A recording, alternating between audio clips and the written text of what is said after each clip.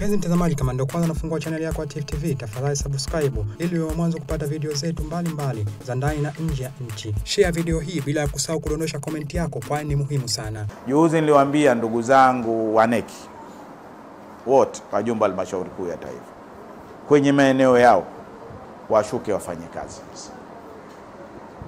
Niliambiwa sipati faraja sana kuona waneki wangu wamefunga sala,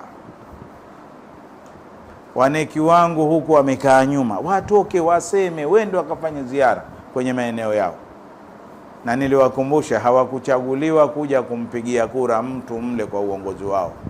Kila mtu ameomba uongozi yeye mwenyewe.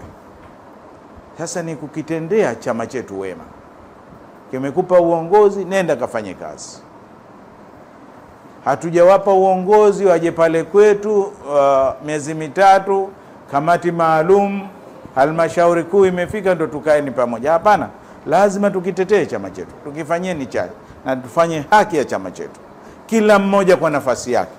Waheshimiwa wawakilishi, waheshimiwa wabunge, waheshimiwa madiwani, niliwapa taski waheshimiwa madiwani, nendeni mkafanye kazi kwenye wadi zenu, kafanyeni mikutano ili kutangaza nini walioyafanya, na waheshimiwa wabunge na waheshimiwa wawakilishi wende wakafanya mikutano ya hadhara kwenye maeneo yao.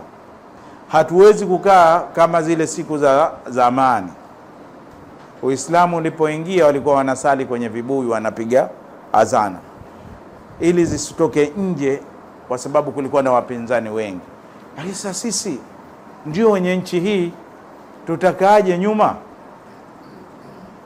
Twende tukashajihishe kuona tunapata wanachama wengi wapya, kwa sababu wapo wanachama sasa hivi wako stranded, hawajui uende popote.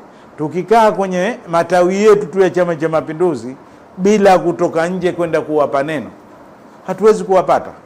Mi naamini wapo. Tifu TV inakupatia video mbalimbali kutoka ndani na nje ya nchi. Tafadhali endelea kutufuatilia kupitia chaneli yetu ya Tifu TV, YouTube, Facebook, Twitter na Instagram, bila kusahau kudondosha komenti yako, kwani ni muhimu sana. Tifu TV tupo kijamii.